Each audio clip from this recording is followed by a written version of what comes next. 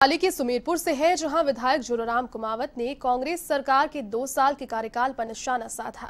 विधायक कुमावत ने कांग्रेस सरकार की ओर से कराए गए विकास कार्यों पर सवाल खड़ा किया है। साथ ही दो साल में कराए गए विकास कार्यों को निराधार बताया। साथ ही सरकार पर कई योजनाओं को बंद करने का आरोप भी लगाया।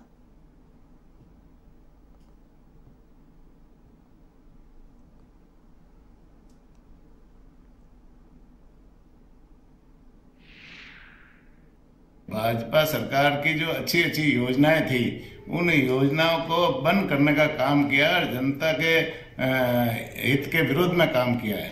तो मैं तो ये बताना चाहूँगा आपको कि जैसे एक भामाशाह योजना थी, जो वसुंधरा जी ने लागू की थी, उसमें तीन लाख तक का इलाज प्राइवेट हॉस्पिटलों में फ्री होता था इन्होंने आकर के उस योजना को बंद कर दिया। आज उस योजना में लोगों का इलाज नहीं हो रहा है। किसानों के दस हज़ार तक के जो बिजली के बिल माफ़ करने, किए थे वसुंधरा जी की सरकार ने, इन्होंने ये बंद कर दिए।